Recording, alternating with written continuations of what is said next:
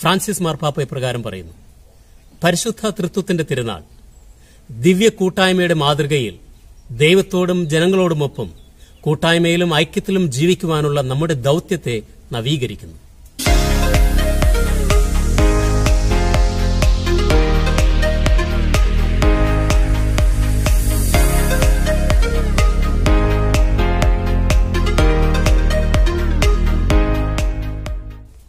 തന്റെ ഏകജാതനെ നൽകുവാൻ തക്കവിധം ദൈവം ലോകത്തെ അത്രമാത്രം സ്നേഹിച്ചു.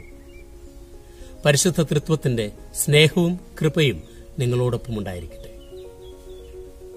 ഇന്ന് നാം പരിശുദ്ധ തൃത്വത്തിന്റെ തിരുനാൾ ആഘോഷിക്കുകയാണല്ലോ.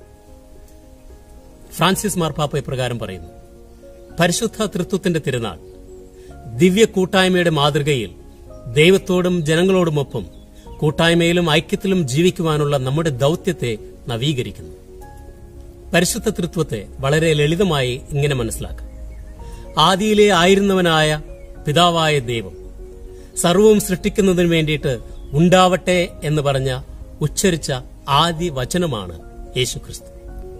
സൃഷ്ടിക്കപ്പെട്ടവയിലേക്ക് നിശ്വസിച്ച പിതാവായ ദൈവത്തിന്റെ ജീവശ്വാസമാണ് പരിശുദ്ധാത്മാവ്.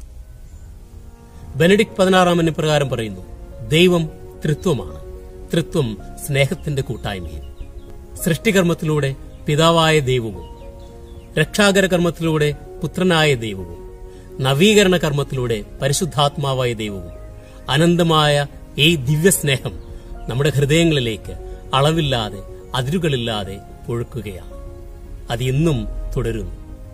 പ്രകൃതിയിലൂടെ കുടുംബങ്ങളിലൂടെ കൂട്ടായ്മകളിലൂടെ സമൂഹത്തിലൂടെ സൗഹൃദത്തിലൂടെ എന്നും നമ്മുടെ ഹൃദയങ്ങളിലേക്ക് ഒഴുകിക്കൊണ്ടിരിക്കുന്നു. തൃത്വത്തിന്റെ സ്നേഹത്തിന്റെ സുവിശേഷം എന്നറിയപ്പെടുന്ന വിശുദ്ധ യോഹന്നാന്റെ സുവിശേഷത്തിൽ ക്രിസ്തുനാഥൻ ഇപ്രകാരം പറയുന്നു. എന്നെ സ്നേഹിക്കുന്നവൻ എന്റെ കൽപ്പനകൾ പാലിക്കും. അപ്പോൾ എന്റെ പിതാവ് അവനെ സ്നേഹിക്കുകയും ഞങ്ങൾ വന്ന് അവനോടൊപ്പം വസിക്കുകയും ചെയ്യും. പിതാവ് പുത്രൻ പരിശുദ്ധാത്മാവ് ത്രിയേക ദൈവം നമ്മുടെ ഹൃദയങ്ങളിലേക്ക് വരുവാൻ വസിക്കുവാൻ ആഗ്രഹിക്കുന്നു. നമ്മുടെ ഹൃദയങ്ങളെ നമ്മുടെ കുടുംബങ്ങളെ നമ്മുടെ ജീവിതങ്ങളെ നമ്മുടെ സൗഹൃദങ്ങളെ നമ്മുടെ കൂട്ടായ്മകളെ നമുക്ക് പരിശുദ്ധ തൃത്വത്തിനായി തുറന്നു കൊടുക്കാം.